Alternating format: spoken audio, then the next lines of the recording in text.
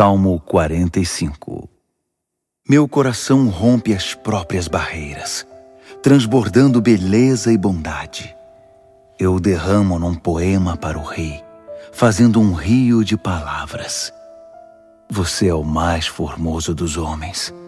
Cada palavra dos seus lábios é graça pura. E Deus o abençoou, abençoou muito. Amarre a espada ao seu lado, ó guerreiro Aceite a homenagem. Aceite a honra merecida. Cavalgue majestosamente pela verdade. Cavalgue triunfantemente pelo justo e humilde. Suas instruções são um clarão na escuridão. Você atira flechas pontiagudas no coração dos inimigos do rei e eles caem na poeira derrotados. Seu trono é o trono de Deus para sempre e sempre o cetro do seu governo mede o viver correto. Você ama o que é certo e detesta o que é errado. Isso porque Deus, o seu Deus, derramou óleo perfumado sobre sua cabeça, tornando o rei entre seus queridos companheiros. Suas vestimentas são pura fragrância, são perfumadas com a brisa da montanha.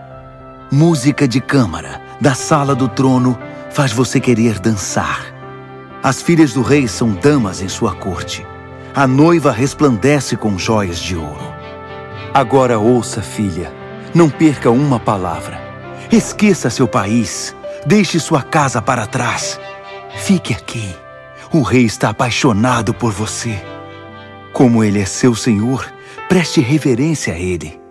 Os presentes de casamento vêm de Tiro.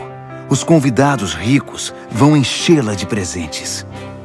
O vestido de noiva é deslumbrante, bordado com ouro pelos tecelões. Todos os seus vestidos e robes têm bordadura de ouro. Ela é conduzida até o rei, seguida por suas companheiras virgens. Uma procissão de alegria e risos, entrada triunfal no palácio do rei.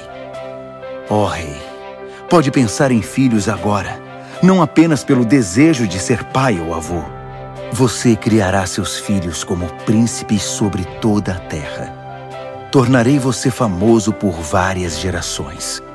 Você será o assunto da cidade por muito, muito tempo.